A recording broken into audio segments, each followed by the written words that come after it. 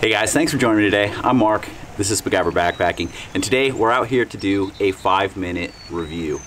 The piece of gear we'll be reviewing today is my go-to canister stove. When the weather's colder and I'm gonna be doing more boiling during the day, it's just convenient to have a canister stove that can get water boiling or up to temperature really quick and there's not a lot of messing around with things. And so my choice and what I'm reviewing today is the Soto Windmaster. And so this is a stove by a Japanese company and uh, the company's called Soto. The stove body itself weighs 2.12 ounces and it produces 11,000 BTUs. Uh, this thing can burn on an eight ounce canister for one and a half hours. And when it only takes two minutes to boil two cups of water, that's pretty good. You're gonna get a lot of use out of one canister. Uh, this does come with two different pot stands. So the pot stand that it normally comes with is the 4Flex. And so you can see that they're removable. They aren't part of it. They go on and off. Uh, so it is a second piece that you have to carry that you want to make sure that you aren't losing. But with the 4Flex, you can put up to a two liter pot on here. Very cool design. The Windmaster itself is a concave design and so the flame is, is actually protected by the wall here which is really nice and makes it perform extremely well. Now I've gotten boil times on two cups of water. I barely ever use two cups of water but I've gotten boil times of like a minute and a half. So we'll put this on here.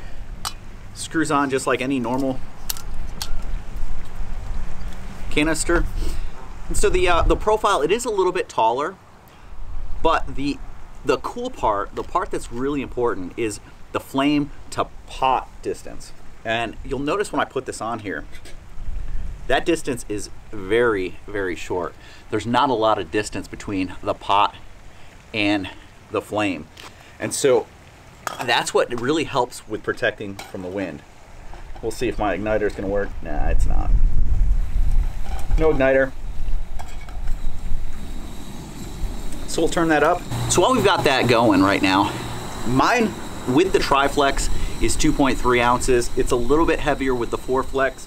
You see, even though it's really windy out today, but I've got no problems with the flame pattern here. It's just performing flawlessly. But here you can take a good close look at this stove. And uh, it's got a micro regulator, and so you can make very fine adjustments on it. This is one of the few canister stoves that you can actually really cook with. You can hear it comes on, you can make very, very fine uh, adjustments with it. But even with a 550, which is not a big, big mug, this will fit right down in there. See that? Fits right inside of there. Throw this in here.